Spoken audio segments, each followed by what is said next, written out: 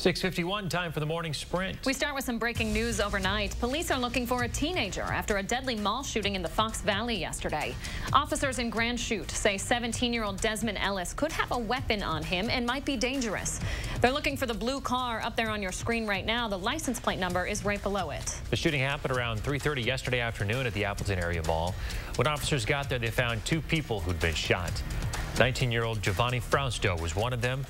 Frausto died from his injuries. The other victim has been released from the hospital after getting treated. It's a new era for the Madison Police Department. Dr. Shon Barnes will be sworn in as the city's next chief this morning. Dr. Barnes will take over for interim chief Vic Wahl, who's been leading the department since September of 2019. Barnes started his career as a patrol officer in North Carolina back in 2000. He most recently served as director of training for the Office of Police Accountability in Chicago. A virtual swearing-in ceremony begins at 10. The man accused of killing a father on the side of a Dane County road last year is due back in court this morning. 22-year-old Riley Berg is charged with first-degree intentional homicide and Nicholas Day's killing. A passerby found Day's body in January of 2020. An autopsy found Berg had been shot and stabbed. Berg will be reassessed for his competency today after being found not competent to stand trial back in November. Green County will start to vaccinate folks at its first clinic today. The Moderna vaccine will be available to county residents who are 65 or older. You have to make an appointment with the clinic. It runs from 9 a.m. to 2 p.m. today, and vaccine availability is limited. So once the appointments are filled, there won't be any more until the next clinic. Milwaukee will start vaccinating older adults at the Wisconsin Center today. The city had delayed the vaccinations because supply was limited. The mass vaccination site is open to all seniors by appointment. The city is still working to vaccinate people in Phase 1A, like healthcare and long-term facility workers. The state added seniors to Phase 1B on January 25th. The Biden administration is expected to boost vaccine supplies nationwide this week. President Biden made the announcement last week. He vowed to increase supply by 17% to help mitigate the effects of shortages. The CDC has planned to make around 10 million first and second doses available. That's up from last week's 8.6 million. AstraZeneca will deliver 9 million additional doses of its COVID vaccine to the European Union. This comes days after the company said that it would cut supplies because of production problems. The EU says this means the company will expand its manufacturing capacity in Europe and will start deliveries sooner than expected. AstraZeneca has been doing clinical trials at UW Hospital in Madison for the past few months. Johnson & Johnson is set to ask the FDA for emergency use authorization for its single-shot vaccine this week.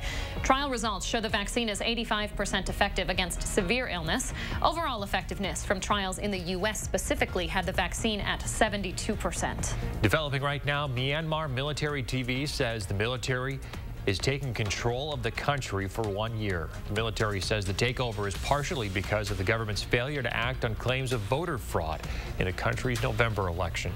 It's a sharp reversal of the partial progress toward democracy made in recent years following five decades of military rule. Reports say one of the country's senior politicians has been detained. The move is receiving widespread international criticism this morning, including from the White House. In a statement, Press Secretary Jen Psaki hints at possible U.S. involvement if the situation worsens. She says President Biden has been briefed and that the administration is alarmed. Psaki says the U.S. is against any attempt to change the outcome of recent elections and will take steps if the actions aren't reversed. In-person absentee voting in Madison for the upcoming spring primary starts tomorrow. Ballot drop boxes are open across the city. They're the same ones you used for November.